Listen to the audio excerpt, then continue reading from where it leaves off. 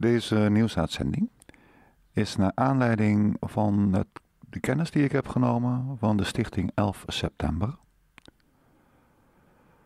Die uh, stichting, die is denk ik al een tijdje hoor.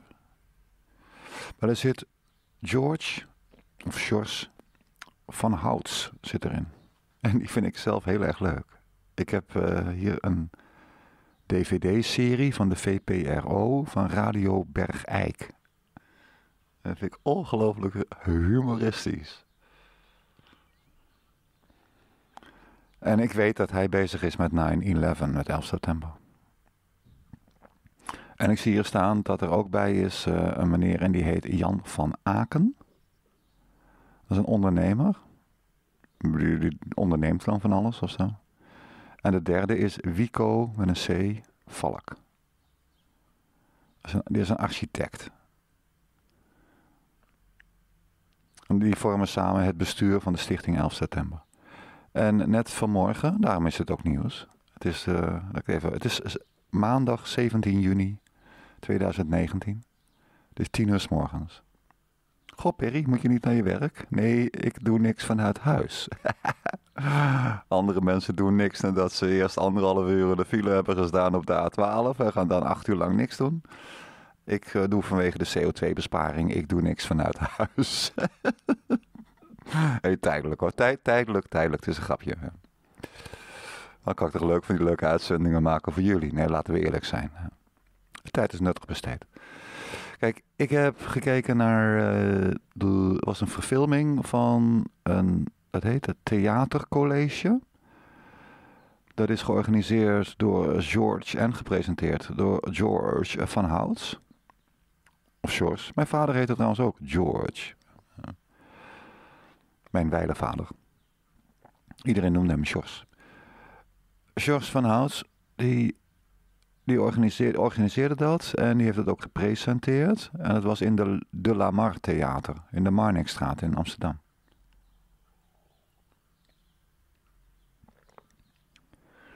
Vernoemd naar Fien de La Mar.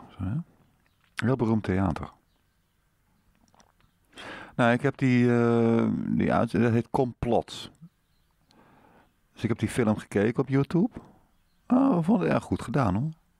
En net heb ik gekeken naar iets en dat was een forumdiscussie. En daar had hij Richard Gage uitgenodigd. Gewoon architects en engineers van 9-11 Truth. En Barbara, Barbara Honecker. En ja, allebei ken ik. Of ken ik, die heb ik lezingen van gezien. En ik ben... En volgens mij ben ik lid van uh, Architects and Engineers van 9-11 Truth. Heb ik me aangemeld, eens lang geleden. Ja. Die club die volg ik al sinds dat ze 21 mee de ondertekenaars hadden. Zeg helemaal uit het begin. En nog steeds zit die website bij mij in mijn bladwijzers die ik dagelijks, soms twee keer per dag. Ik heb zo'n serietje, Alex Jones staat erin en nou wat meer dingen. En dan doe ik even uh, bladwijzers openen en dan gaan ze alle vijf of zo tegelijkertijd. Uh, brrr, dan kijk ik even. En architects en engineers, die, die staat er ook bij. Ze hebben nu 3145 officiële architecten, lalalala, die hebben mee ondertekend. Dat is toch meer dan 3000 man, hè? Die daarmee hun geloofwaardigheid op het spel zetten. Want als je beweert dat die aanslagen van 11 september, dat dat uh, niet volgens het officiële verhaal plaatsgevonden kon hebben dan word je in dezelfde hoek geschoven als de mensen die geloven in een platte aarde die geregeerd wordt door reptielerachtige wezens. En de maan is hol, want daar wonen die reptielen.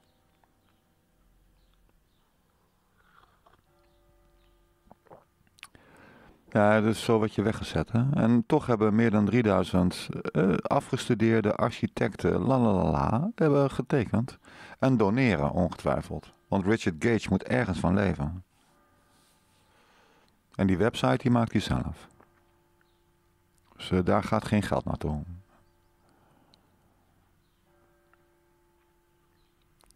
Nou, deze twee eh, bij elkaar is het drie uur filmmateriaal. En niets dan complimenten. Uh, de uitvoering een 8. De voorbereiding een 8. De presentatie een 8. En het publiek ook een 8. Dus, uh, vier keer een 8. Ja, hoe goed wil je het hebben? Gewoon goed. Er is één punt waar ik een verbetering zie. En dat is als je het gaat hebben over de daadwerkelijke dader. Daders. Hè? Want dat het gedaan is door een organisatie, dat is duidelijk. De aanslagen van 11 september zijn niet het werk van 25 dolgedraaide kameelridders. Dat was het officiële verhaal en dat kan je rustig terzijde schuiven. Daar klopt helemaal niks van.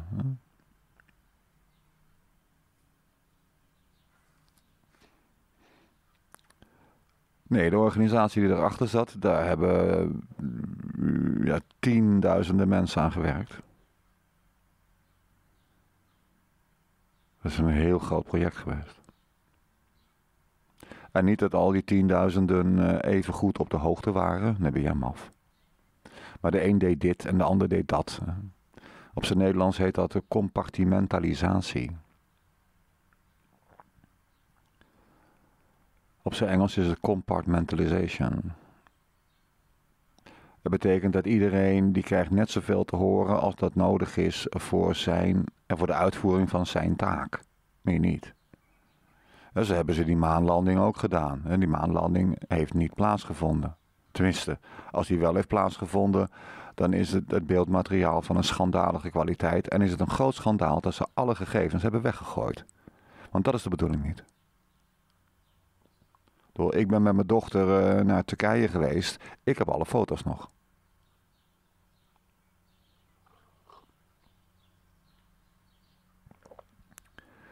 Nee, bij de NASA hebben ze alles weggegooid. Ja, waarom doe je dat? Hè? En het argument is dan van ja, we hadden opslagruimte nodig. We hadden te weinig opslagruimte. Ja, ja.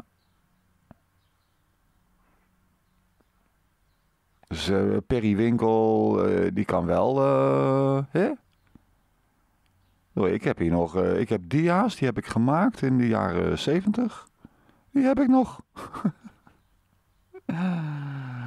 Alleen mijn map met negatieven, die ben ik kwijt. Dat is, ja, dat is gebeurd bij een verhuizing. Dat, heb ik een, ja, dat kan ik aanvoeren als excuus. Dat is ontzettend jammer. Ja, maar helaas. Een hele dikke map met ongelooflijk veel negatieve man. ja, die ben ik kwijt. Maar een doos met dia's, die heb ik nog. Ik heb ze niet allemaal zelf gemaakt. Sommige dia's zijn van mijn ouders. Maar ik gooi die dingen niet weg. De NASA wel wat dan doorgaat voor de allergrootste prestatie van de 20e eeuw, namelijk eh, dat wij op de maan geland zijn, gaan ze alle gegevens die ermee te maken hadden, en dan niet zozeer die paar kruimelige foto's, korrelige foto's, nee, nee, die zie je overal op internet staan. Nee, die hebben ze nog. Nee, nee de gegevens, de bouwtekeningen en zo. Allemaal weggegooid. Daarom zegt de NASA ook van ja, we kunnen niet opnieuw, want we zijn al die data kwijt. Dus dat was technologie, die hadden we toen. Maar ja, nou niet meer. Want hebben we weggegooid. En nou kunnen we niet meer naar de maan. Zegt de NASA, hè? Ja, maar Elon Musk met zijn Tesla-auto, die gaat toch naar de maan? Ja, in zijn Tesla-auto, hè? Eerst zien, dan geloven.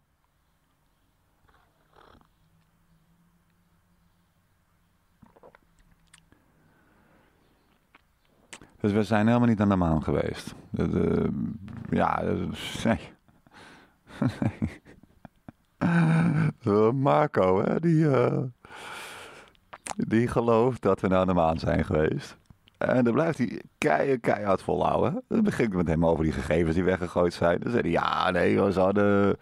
Ah, nee, dat is allemaal logisch, want uh, ze hadden opslagruimte te weinig. ja, die bouwtekeningen. Die zijn ook allemaal weggegooid. Ja, ze maken, want er waren opslagruimte te weinig. en Marco is een man van 54. Hier. En hij vindt zichzelf heel erg intelligent. Ja.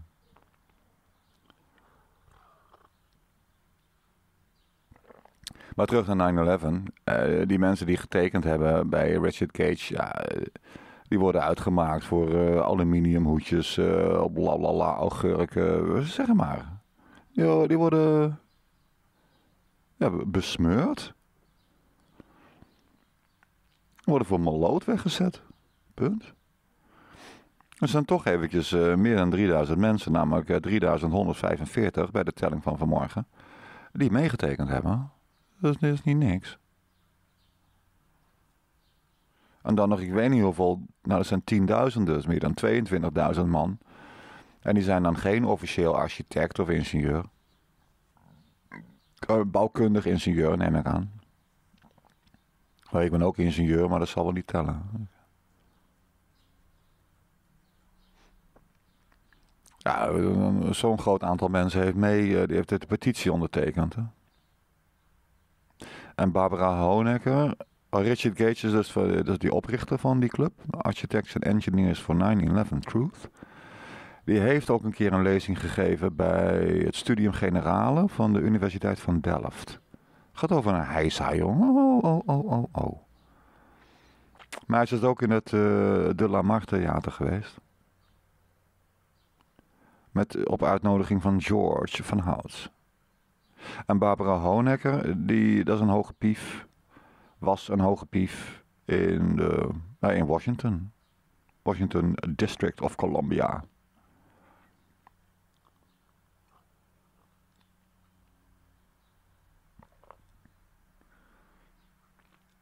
En zij heeft een lezing, een onderzoek gedaan en een lezing gehouden. Ik denk meerdere keren dat ze dat verteld heeft. Maar het gaat over die aanslag op het Pentagon. Want daar klopt ook iets niet aan. Natuurlijk. Hè? Maar die vertelde mij toch een aantal dingen. Of ik maak niet dat ze dat mij vertelde, maar. Daar maakte ik toch een aantal zaken uit op dat ik dacht van. Hmm, dat wist ik niet. Opmerkelijk. En ze zijn bezig in Amerika om via het, uh, dus het heet het, Supreme Court of zo? Hebben wij dat in Nederland ook? Dat weet ik niet. Maar het is dan het allerhoogste gerechtsorgaan, de allerhoogste rechtbank. Om via die instantie een nieuw onderzoek af te dwingen. Want de onderzoeken die er geweest zijn, ja, dat sloeg helemaal nergens op.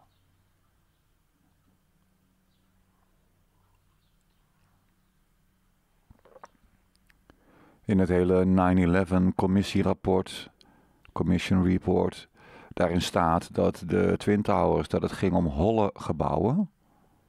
Waarmee dus de indruk wordt gewekt dat er dus nog een, nou, voor de hand lag dat die dingen in elkaar zouden plompen, want ze waren hol van binnen.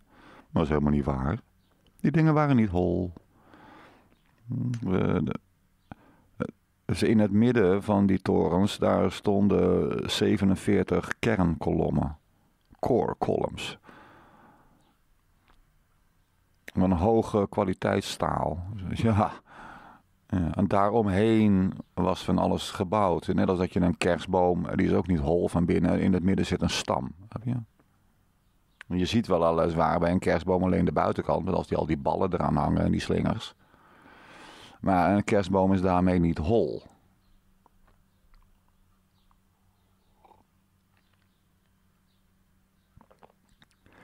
En dan gaat me niet geloven, dan moet je maar even kijken naar de bouwtekeningen van de Twin Towers en dan zie je het zelf staan. Dan kan je die zomaar vinden op internet dan? Ja. Daarvoor heb je nodig En heel veel mensen kunnen dat niet, hè? maar ik zal het je even vertellen. Daarvoor heb je nodig een, een laptop, een computer, een tablet of een smartphone. En je moet hebben een internetverbinding. En je moet beschikken over een ding, komt moeilijk woordje. Moeilijk woordje, oplettertje allemaaltje. Browsertje. En dan zondertje. Browser. B-R-O-W-S-E-R.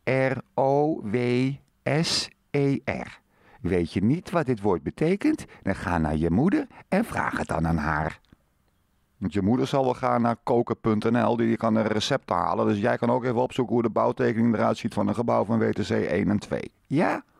Als je moeder toch het recept kan vinden van uh, chili sin carne, dan moet jij in staat zijn om de bouwtekening te vinden.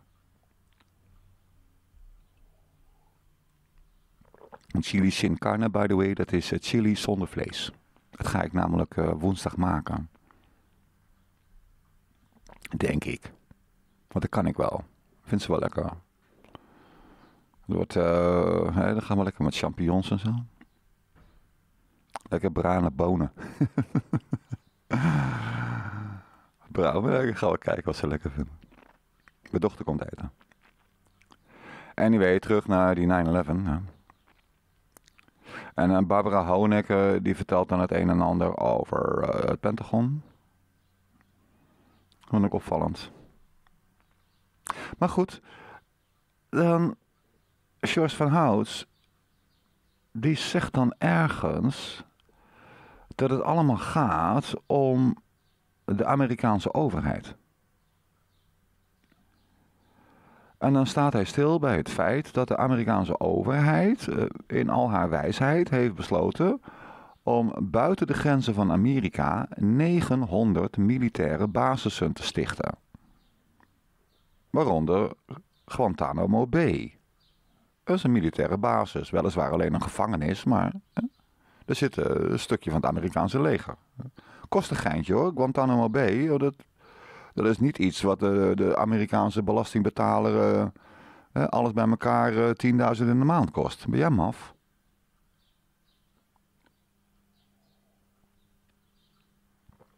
Hoeveel mensen werken daar? Zeg 100. Nou. En die gaan naar huis met 5000 dollar per persoon. Nou, dat is al 500.000 dollar alleen aan salariskosten.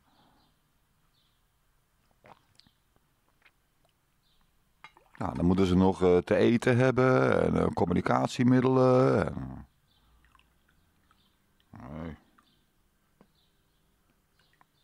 En... Los daarvan, los van Guantanamo Bay. Uh, George van Hout heeft er gelijk in. Over de hele wereld. 800 en 900 militaire basissen. Basis. Militaire kampementen. Dus in Duitsland liggen ze ook nog steeds volgens mij.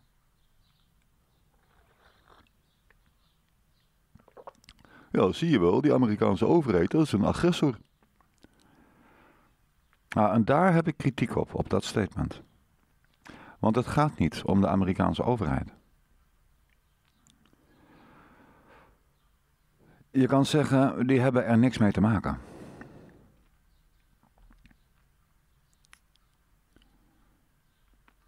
De Amerikaanse overheid valt namelijk onder het regime van de paus. En de paus is hier de baas. En die Amerikaanse overheid die doet precies wat de paus zegt, of anders worden ze doodgeschoten.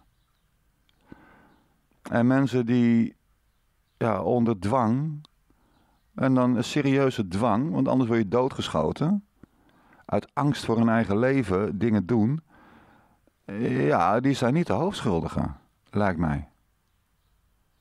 Ik wil het niet goed praten. Maar als je het alleen maar hebt over de Amerikaanse overheid, dan, dan vertel je naar mijn idee iets wat niet waar is.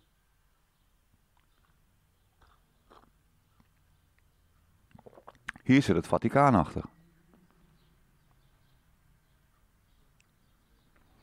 En ja, dit is voor George van Houts. Ik hoop dat hij dit. Uh, dat hij deze positieve kritiek, by the way, het gaat om een verbeterpunt dat hij dit te harte neemt.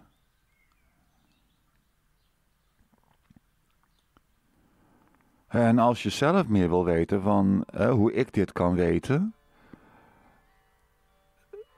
ja, onder, mijn, onder deze video staan een aantal linkjes, waaronder een link naar Jurk Gliesman. En er zat er ook denk ik eentje naar uh, dingetje Bennett.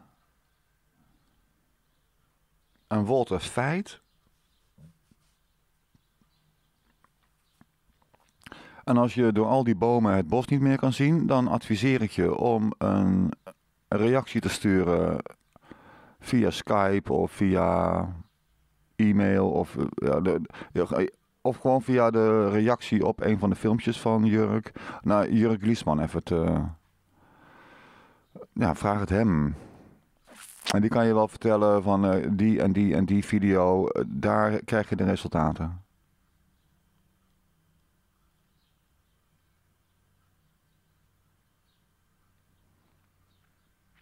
Trouwens, je, je kan ook kijken naar de laatste uitzending die Jurk en ik gemaakt hebben... naar aanleiding van een interview van Kevin Annett met Ella Ster. Daarin bespreken wij ook de rol van het Vaticaan. Het Vaticaan het is de bron van het kwaad.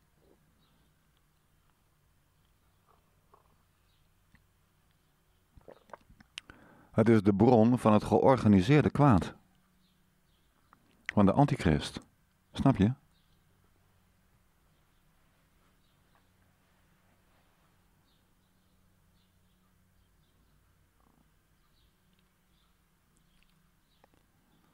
is iets om in de gaten te houden.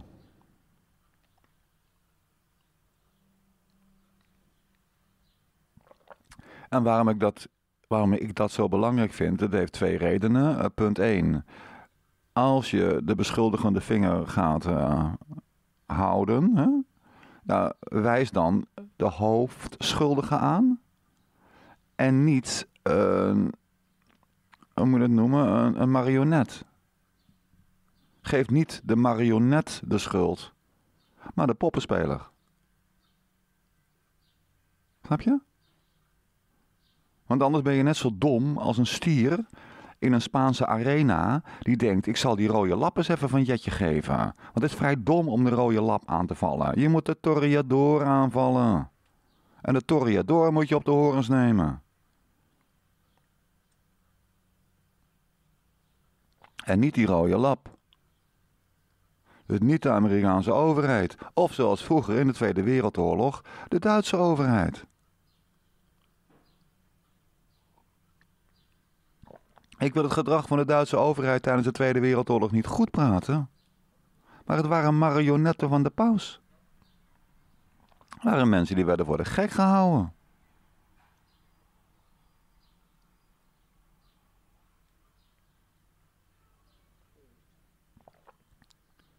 Ja. En het is belangrijk dat wij kijken naar de, de poppenspeler en niet naar de marionetten als het gaat om de schuld. Heb ik mij daar duidelijk in gemaakt? Ik hoop van wel. Nou, en dan de volgende stap is dat als je dan de schuld geeft aan de poppenspeler, het Vaticaan, en niet langer aan de marionetten, dan schakel je aan met een protestbeweging die in 15, wat was het? 1517 volume kreeg in Duitsland. Met het werk van Martin Luther. ik wil niet, daarvoor was er ook protest hoor. Dus uh, dat, protest was al bezig met Jan Hus. En uh, was dat niet Wycliffe of zo? Jurk weet er alles van. Maar met Maarten Luther uh, was het de grote tsunami aan protest. En toen kwam ook die beeldenstorm. Ja, dat is dan aan George van Houts en Wico Valk en die andere man, Van Aken. Jan van Aken of zo. Nou, haak in met die protestbeweging. Het is mooi dat je 9-11 aanpakt. Natuurlijk is dat hartstikke goed. En het is denk ik ook goed dat een stichting 11 september zich concentreert op 11 september. Een, een, een, een, specifiek gedetailleerde aanval op 11 september. Maar ga er maar vanuit dat als je dat opgelost hebt. Ja, punt 1. Je moet de, de, de schuld leggen bij het Vaticaan. En dan hebben wij bij het Vaticaan nog een aantal zaken openstaan. Zoals de Vietnamoorlog. Die is ook van die jokers.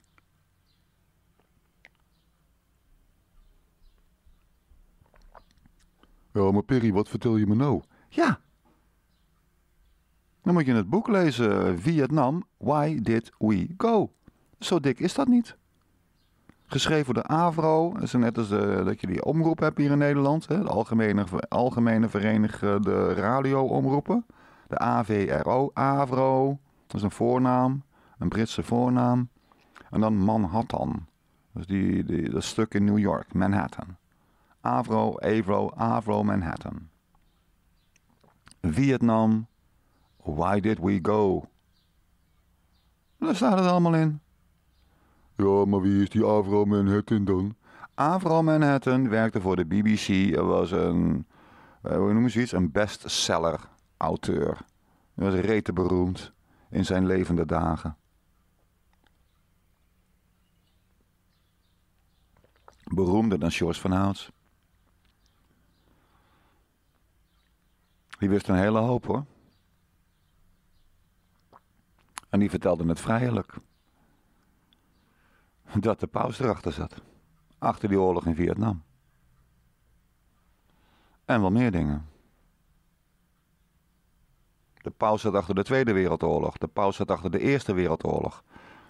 De paus is ook verantwoordelijk voor die genocide, die slachtpartij, die heeft plaatsgevonden in Kroatië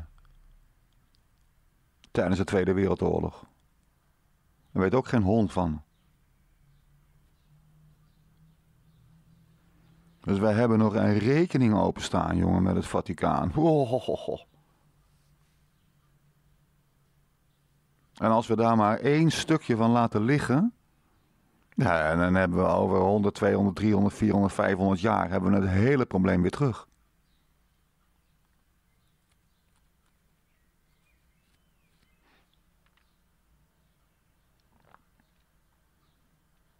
Het wordt wat hoor. Het wordt een hele grote schoonmaakoperatie die plaats gaat moeten vinden.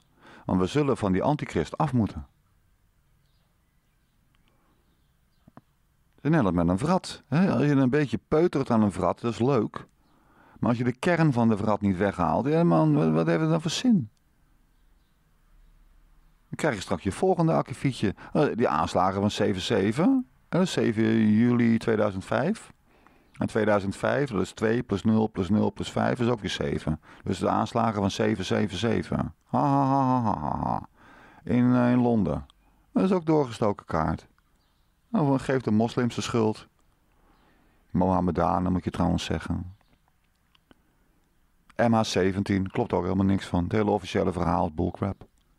Om het maar niet vies te zeggen. Gewoon uh, stieren onzin. In plaats van uh, stieren uitwerpselen. Ja, ik weet dat. Zo gaan ze maar door. We zullen ze ter verantwoording moeten roepen.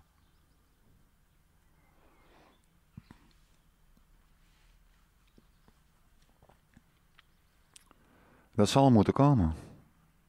En iedere dag dat wij nog gewoon uh, netjes uh, in de file gaan staan om naar ons o zo belangrijke werk te gaan, uh, zonder dat wij ons bekommeren over een liegende marionettenoverheid die precies doet wat de paus zegt.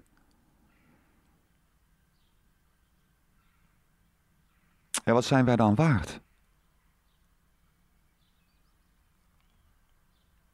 Ja. En uh, George van Hout en, en, en die Wico Valk en, nou weet hij nou, ja, Jan van Aken heet hij. Mijn Mac was even gaan slapen. ja, Jan van Aken, die entrepreneur, die ondernemer. Eh, die doen het goed. Dat is niets dan complimenten. Ik heb ze net al gezegd. Goed, goed, goed, goed. Goed, goed, goed, goed, goed. Ik, ik, ik ga dat niet toppen. Hartstikke knap. Maar leg de schuldvraag neer bij de partij die het gedaan heeft. En er zijn geen directe bewijzen dat het Vaticaan achter 9-11 zat. Maar dat zegt niks. Dus uh, iemand als Eric John Phelps die zegt ja, kardinaal Egan zat erachter. Was de kardinaal van New York destijds. Of kardinaal Egan wist er van. Dat zegt Eric John Phelps. Maar waar hij dat op baseert, weet ik niet. Wat ik wel weet, is dat het Vaticaan erachter zat. Dit is precies hun agenda. Als er iemand was, als er een partij was, die goed garen heeft gesponnen bij 9-11, dan was dat het Vaticaan. Dus als het Vaticaan er niet achter zat, oh, dan hadden ze het, dan hadden ze het ja, ze had, als het niet gebeurd was, hadden ze het zelf gedaan. Dat was exact iets wat ze graag doen. Ze hebben Abraham Lincoln vermoord. Ze hebben John F. Kennedy vermoord. Ze hebben de Vietnamoorlog gestart. Waarom denk je dat de Nederlandse soldaten naar Bosnië werden gestuurd? Om te vechten tegen Paulus de Boskabouter? Nee, natuurlijk niet. Het ging om de orthodoxe christenen daar. En wie heeft er een pesthekel aan alles wat niet katholiek is? Even nadenken hoor. Wat vroeg ook alweer, Perry? Uh, alles wat niet katholiek is, wat bedoel je daarmee? ja, ja. Nou, bijvoorbeeld orthodoxe christenen. Die zijn niet katholiek namelijk. Die weigeren zich te onderwerpen aan het gezag van de paus. Ja, en dan krijg je dat over je heen.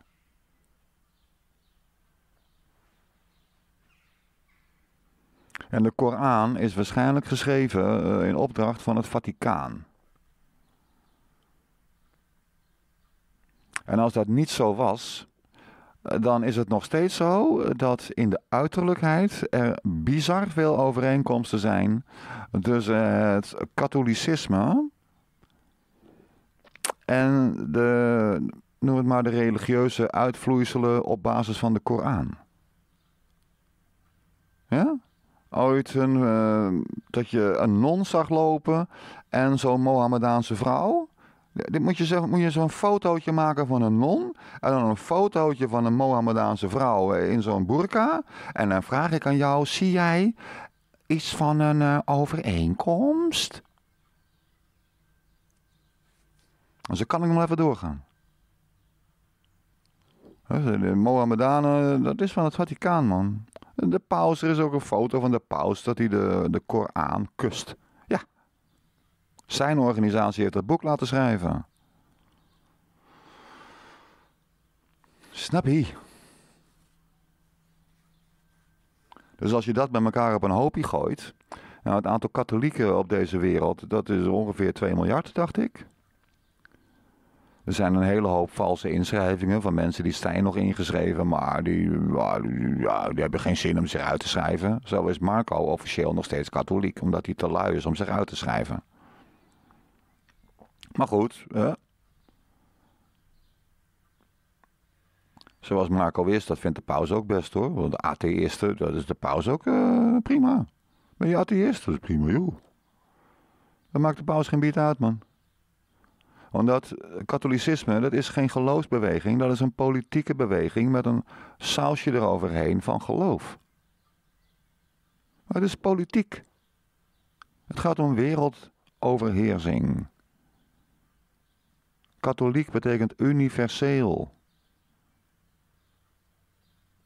Of globaal. Je hebt toch gehoord van het woord globalisme? Ja, dat is katholicisme in de betekenis van het woord. Algemeenheid of zo. We are all the same. We are all together now.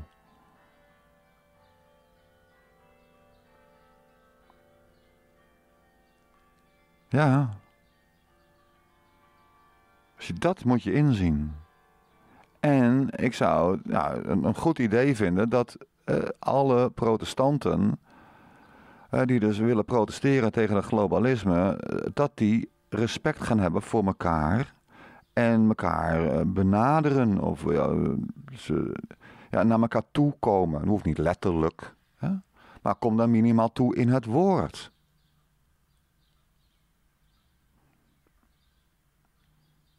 En eh, iemand als George van Hout en Jan van Aken en Wico Valk, ja, heb respect voor het feit dat de Bijbelgelovende christenen, die weten van dit probleem al heel lang. Dat is niet begonnen met Maarten Luther. Dat wisten we daarvoor al. Wij hebben het boek Samuel ook, weet je nog. Weet je nog, weet je niet. Boek Samuel, Oude Testament. Boek Daniel, Oude Testament. Door in welk boek staat er iets over Babylon? De Bijbel natuurlijk.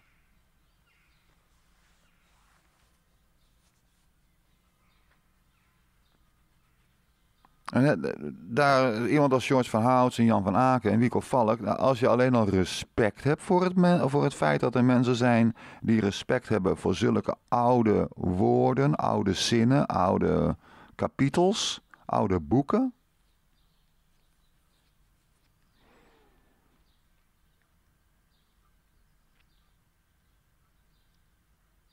Dat zou goed zijn.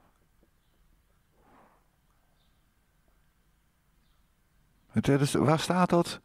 Van, er is geen oorlog op deze aarde tussen vlees en bloed of zo. Hè? Nee, wij voeren een oorlog tegen onze overheid.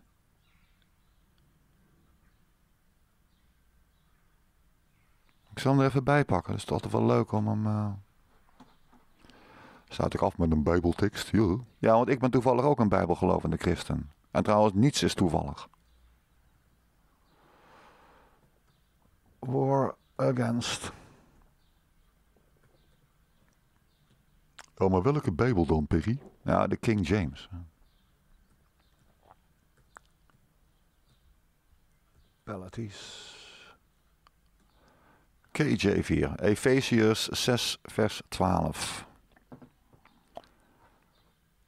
Dan pak ik even de King James erbij. Wat ik dan doe, is dan zoek ik in Google uh, heel vrij. Want dat, zoekalgoritme in Google, dat is geniaal. En je kan ook gelijk naar de King James gaan. Die link staat hieronder. Daar kan je ook zoeken, maar die zoekfunctie is niet zo, uh, hoe moet je het noemen? Uh, laat die niet open. Hé. Hey. Die is niet zo vrij. Ephesians, oké. Okay. Ephesians, ja precies. Ephesians 6 en dan 12. Dus dan moet je echt letterlijk typen. En in Google zelf we maken het niet uit wat je doet. Er staat hier in de King James 1611. Dat is dus meer dan vier, dat is 405 jaar geleden is het opgeschreven. For we wrestle not against flesh and blood, but against principalities against powers, against the rulers of the darkness of this world, against spiritual wickedness in high. En dan pak ik even mijn statenvertaling erbij. Ja, die heb ik ook online, maar ik, ik heb hem tegenwoordig ook in het echt. ik weer een excuus om die te gebruiken. Ik had er moeilijk hier een statenvertaling hebben die uh, straks helemaal niet besmeukt is. En, ja. Toch? Hè? Ik moet hem wel. Uh, ja, Efesius. Er moet nog een keer uh, een, beetje thee overheen. En, dat ga ik niet met opzet doen natuurlijk. Hij staat hier op zijn Nederlands. Dit is 1637. Eh, dus dat is dan bijna 400 jaar geleden. Hm? Efeze. Efeze. Ja, e, Efeze zeg je. Efeze. Hoofdstuk 6. Laatste hoofdstuk. Dus even om het uitleggen voor degene die dat niet weten. Dit is, is een brief. Nou, het is nog niet al een brief hoor.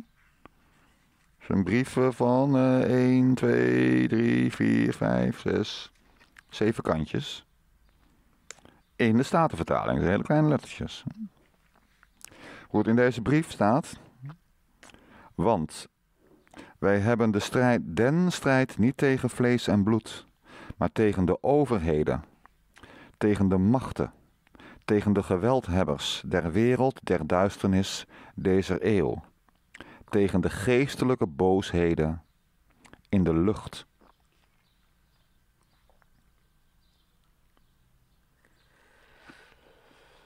Daar staan de protestanten.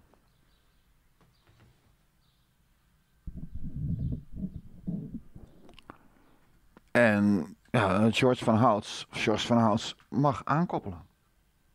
Ik zeg niet dat hij de Bijbel moet gaan lezen. Dat hij, eh, nee, dat zeg ik helemaal niet. Maar ik zeg hem wel dat als hij zoekt naar medestanders, naar mensen die weten waar hij het over heeft, dat uh, iemand, ik, hè, met een Bijbelse achtergrond, nou, ik ben een van zijn medestanders. Maar het gaat mij om de antichrist. En ik weet dat uh, Il Papa, dus de poop, dat is de vertegenwoordiger van de antichrist. Hij noemt zichzelf de plaatsvervanger van Jezus Christus. Ja, dat is de antichrist. Precies de antichrist. Want wie zou dat anders zeggen dan de antichrist? Dat hij de plaatsvervanger is van Jezus Christus. Toch? Nou. Efezen 6, vers 12. Wij strijden tegen overheden. En het is dus uh, in het Engels en in het Nederlands vertaald in het begin van de 17e eeuw. En het is opgeschreven ergens in de eerste eeuw.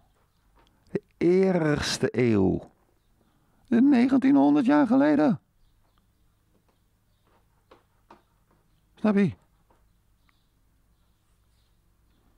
En natuurlijk is 9-11 hartstikke belangrijk en vindt het hartstikke goed dat de Stichting 11 September zich bezighoudt met puur 11 september. Door architects en engineers houden zich puur bezig met uh, gebouw 7, als ik het wel heb. En niet zozeer met die ineenstorting van 1 en 2. Dat is een kwestie van ja, concentreren, dat je je focus legt op een stukje en daar dan zoveel mogelijk druk op uitoefenen. net als een bijtel. Dus met een stom voorwerp uh, kan je niet uh, iets breken. Maar met een bijtel, die moet scherp zijn. En, en, dan pak je één specifiek dingetje. Ja, als hij maar breekt. Hè. Dus dat vind ik best. Hè. En uh, vergeet niet dat. Ja, neem zo'n andere. De, tijdens de Zesdaagse Oorlog die Israël uh, als een donderslag bij heldere hemel begon tegen de Arabische buurlanden. Dat heet een preemptive strike of zo. Want er dreigde gevaar. Nou, het is tamelijk onduidelijk waar dat gevaar van dreigde, maar eh, ze begonnen. Out of the blue. Die Arabieren hebben dus geen oorlogsverklaring gekregen van tevoren. Dus ja, die, er was een verrassingsaanval.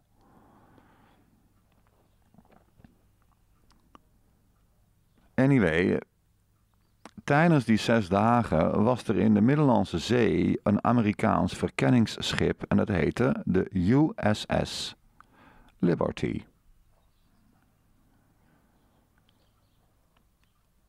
Dat schip was enigszins bewapend, maar dat mocht geen naam hebben. Het ging met name om de radarinstallatie en al die antennes en en wat ze deden, dat was, ze dachten dat, dat ze dat deden, was informatie onderscheppen om die door te brieven aan de Israëliërs, want het was een bondgenoot van Amerika.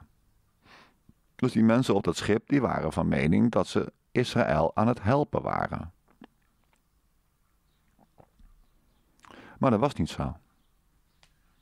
Ze waren daar naartoe gestuurd om naar de bodem van de Middellandse Zee gebracht te worden en dan zou er een politieke rel gestart worden, waarbij Egypte de schuld zou krijgen van het zinken van de USS Liberty. En dan de hele wereld in rep en roer. En dan gaan we met z'n allen Egypte aanvallen. Dat was de bedoeling. Dus die mensen, die aangemonsterd, die, zaten bij de marine van uh, de Verenigde Staten. Ja, we gaan naar de Middellandse Zee dan ben ik de hele tijd van huis, maar we gaan een bondgenoot helpen. Nee, zij waren een sitting duck, zo heet dat. De lokaas, dat ook noemen. En wie moest die boot naar de bodem van de Middellandse Zee helpen? Oh, dat deden de, Israëliërs zelf wel. Daar hadden ze niet eens de, de medewerking van die Egyptenaren voor nodig hoor. Er was een 1 tweetje tussen de Israëlische overheid en de Amerikaanse overheid. En wie zat erachter? Ja, het Vaticaan natuurlijk. Die regelen dat soort dingen. Hè? Lekker liegen. Die jongens kunnen niet anders. Nou, en die aanslag op de USS Liberty, die tot op de dag van vandaag in de schoenen wordt geschoven. Oh nee, tegenwoordig zeggen ze dan, ja, die Israëliërs, die, uh, dat was een, een per ongeluk foutje. Ja. Eh, sorry hoor, het was een klein beetje foutje. Ze hebben drie aanvalsgolven gedaan. Eh, de USS Liberty die voerde een Amerikaanse vlag en niet zo'n kleintje.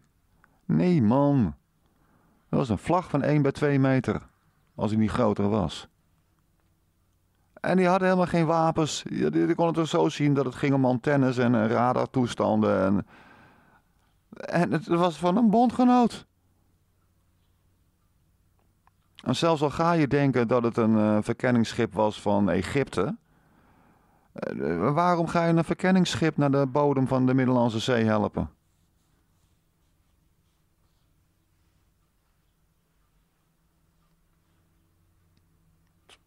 Ja, het was oorlog. Ja, ja.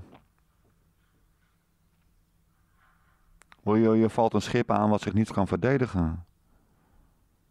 Dus waarom zou Egypte een verkenningsschip uh, informatie laten verzamelen zonder dat daar aanvalschepen eh, omheen liggen in een cordon om dat schip te beschermen. Eh, waarom is er een verkenningsschip wat er helemaal in zijn eentje, la la la la, net als een Jodokus kwak, denkt dat het helemaal veilig is? Ja, kom joh. Maar zelfs Wim Kruidentuin gelooft het op de dag van vandaag dat dat, uh, ja nee, dat was een vergissing van de Israëlische overheid. Nee, dat was werk van de paus. Die zat erachter. En laten we maar beginnen met uh, de dingen van de paus aan te vechten, aan te klagen, die we aan kunnen klagen. 11 september wordt wat moeilijk, maar... Je kan in elk geval, uh, kan George van Hout toch kijken naar al die uitzendingen die gemaakt zijn over de banden tussen de Amerikaanse overheid en het Vaticaan. En hoe het Vaticaan niets meer is dan een schoothondje. Nee, hoe de Amerikaanse overheid niets meer is dan een schoothondje van het Vaticaan. Eh, als er een buitenlands staatshoofd op bezoek komt in Amerika, dan belt die persoon aan bij het Witte Huis. Ja? Eh, de president die zegt zo, oh, nou, vandaag kregen we bezoek vanuit Zimbabwe. En dan zegt die eh, president, nou dat is best, nou ik zie hem wel komen. Hè. En die gaat lekker doorlezen in de New York Times en drinkt nog wat koffie en uh, rookt een sigaar of zo. En dan komt de president van Zimbabwe komt langs. Ja. Er is één staatshoofd geweest. Toen werd er tegen gezegd, tegen Obama of zo was dat. Van nou, de staatshoofd komt langs. En dan zorg je even dat je op tijd bent om hem te ontvangen op het asfalt.